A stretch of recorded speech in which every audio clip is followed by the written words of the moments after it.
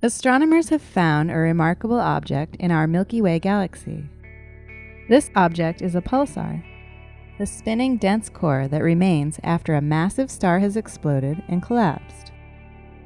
When this pulsar was created, something interesting happened because this pulsar is racing away from the supernova remnant where it was born at a speed between 2.5 million and 5 million miles per hour.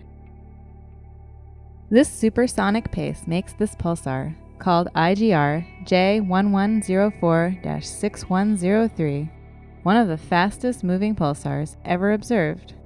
And what's more is that this runaway pulsar is leaving behind an extraordinary tail as it goes.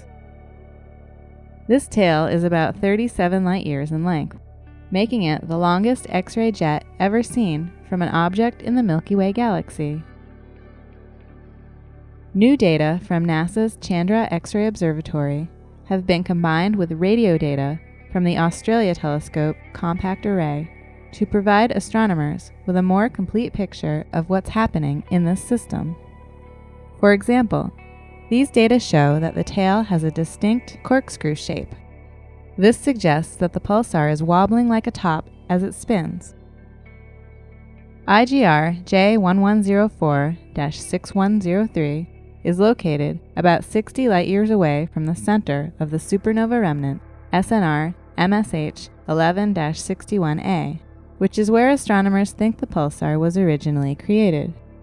By examining the details of the pulsar, its jet, and the supernova remnant, astronomers are piecing together the story of this exceptional object in our galaxy.